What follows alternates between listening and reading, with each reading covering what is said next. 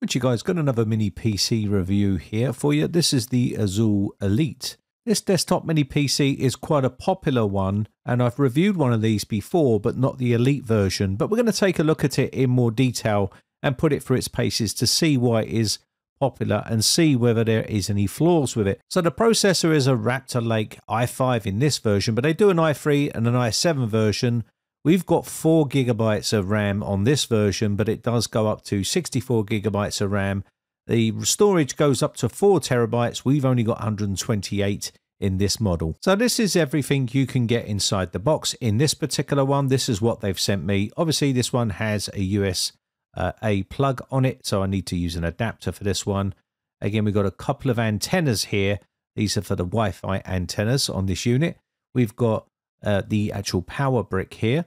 Also on a barrel jack here, I'll give you a quick look at the ratings. That's 19 volts, 5 amps, 95 watts on this particular uh, model of power supply. Not sure what the make is, but that is the actual power supply. We've got a thermal pad here and we've got some screws inside here and there's a little jumper on here in case you want this running all the time. I think these units are designed for thin clients, kiosks, point of sale, uh, IoT and stuff like that. But this is what you can expect to get. We do have our unit right here, which is quite small, size of my hand on the front. We do have that power button here. And I do like the look of this mini PC. On this side here, we do have some ventilation here. And on the other side, we should have some ports. You have some sort of infrared uh, sensor on the front here, maybe for some sort of remote control. On here, we have USB 2.0 ports and USB 3.1 ports we have a micro SD card slot here and a USB 4 port on here as well, which is Type-C connection. So you have plenty of connectivity on the side of the unit. If you need to plug in uh, external devices, you can do uh, via this method here. There's also a micro SD card there for external storage if you want to. On the back of the actual device, we have those antennas. This is dual band Wi-Fi on this device. We have two Ethernet ports. One of them is 1 gigabit and one of them is 2.5 gigabit Ethernet port on here. Also got some ventilation here. We have three uh, HDMI 2.0, not 2.1, 2.0 ports on here. So you can have multiple displays on here, a Kingston lock as well, and that audio input there as well. The device is made of plastic here. On the bottom, it's made of metal. And there's that VESA mount here. It doesn't come included. You will have to buy extras for this particular device. But I'll take this apart so you can see inside. Inside you can see we have a fan here and these are the screws for the little rubber feet on them. You just have to unscrew these and it will give you access to the bottom here. You have to remove two more screws and it gives you access here. So you can replace this fan and also clean it if you need to uh, at any time. Now, it doesn't look like you can mount any sort of drive inside here. There's not enough room uh, for a drive in here. It did only come with 4 gigabytes of RAM. They can have up to 64 gigs in here as well, but they only sent me a four gigabyte model on one stick of RAM, which means it's going to run on single channel, which is never a, a good thing. So, but it will impact performance, but that's on them for sending this uh, product for review. We have a big copper plate here to cool down the CPU and a nice exhaust here at the back. And we also have, this is where your drive is, your M.2 uh, PCI Express times 4 in here as well. So we should get reasonably fast speeds from those. This is only an 128 gigabyte model they've sent me as well, which can have more. As I've said, there is a SATA port and a power port here. Why that's there, I don't know, because you can't fit in any sort of drive inside here from where I can see. I did try, but it, it's a bit too uh, tight there. Now, the price of this mini PC is not cheap once you start specking it out. Again, they do an i3, an i5, and an i7 version. You can choose more RAM if you wish and more storage, but again, that will bump the price up.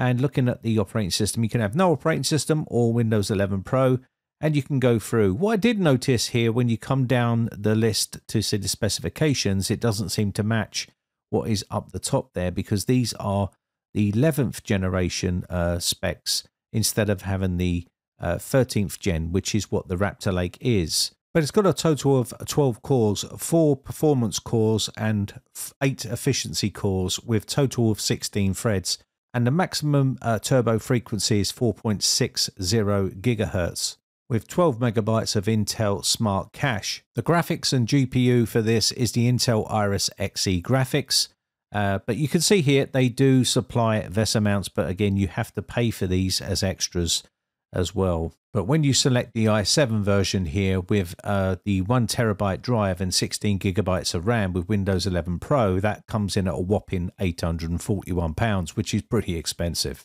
So let's uh, see what the actual mini PC can do, and we'll give it some tests to see how it fares.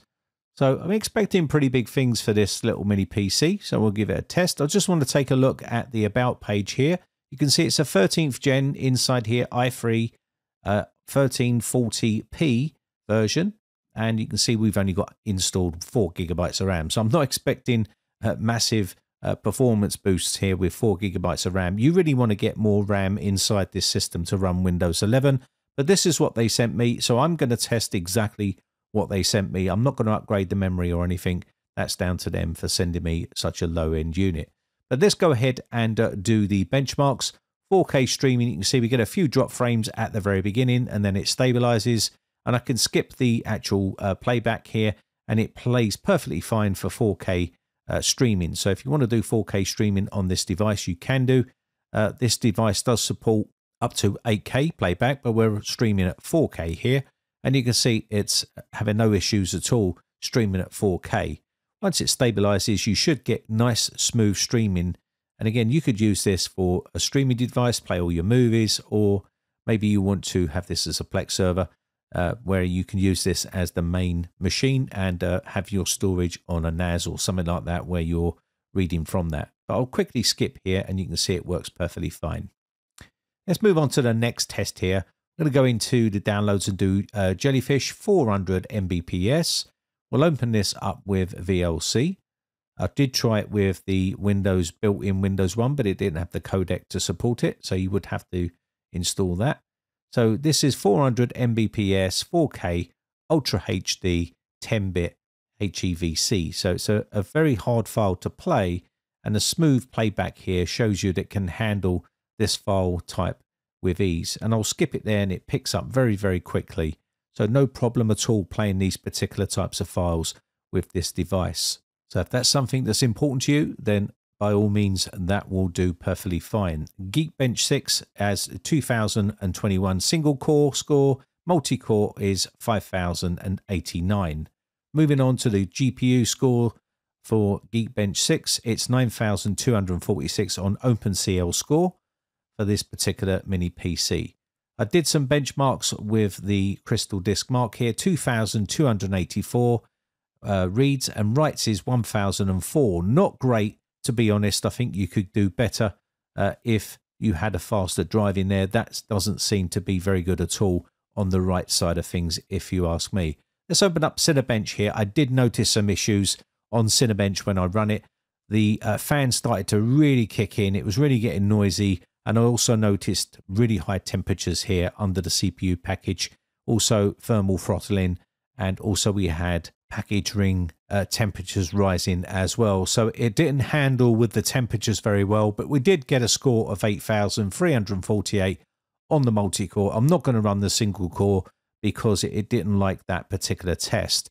If you want to play games, uh, these little tiny uh, retro games, then yes, you can play retro games on this. I did notice the fan kicking in quite a bit uh, on here. There was the odd micro stutter here. Maybe that's because we only had four gigabytes of RAM. And I do think having that extra RAM would have been very useful. Like 16 gigabytes at least would have been very helpful for this particular type of device. Now, I do want to point out a couple of real negatives for me for this mini PC, and one of them is the temperatures. It was getting a little bit toasty at times when doing certain things. And again, if you're doing tasks like this, it will get a little bit hot and the temperatures do rise up a little bit. Uh, so it does need a bit better cooling than what is already there, in my personal opinion. If you're going to be using it for gaming or if you're going to be rendering videos and things like that, it may get a little bit too hot. So maybe if you're looking for something that's doing light work, like a bit of streaming, a bit of light office work, then this is going to be ideal. And I think this is where this mini PC is targeted at, as I've mentioned before. Now, plus the price of this is pretty expensive. So if you're looking for a cheaper mini PC, then this is not it because it will cost a fair bit to purchase something like this. Uh, again, there is better options out there for temps, as you've seen on my channel. Uh, Minisforum do a really nice one, which has very low temps, no thermal throttling whatsoever, and probably cheaper than this particular mini PC. So there is ones out there which you can uh, get with uh, better specs and better uh, cooling. Let me know what you think in the comments section. I'll be happy to read your comments. My name has been Brian from briteccomputers.co.uk. Just want to say a quick shout out to all my YouTube members who joined my YouTube members group. I appreciate the support. I shall catch you in the very next video, or I'll see you on the Discord server for a chat. Bye for now.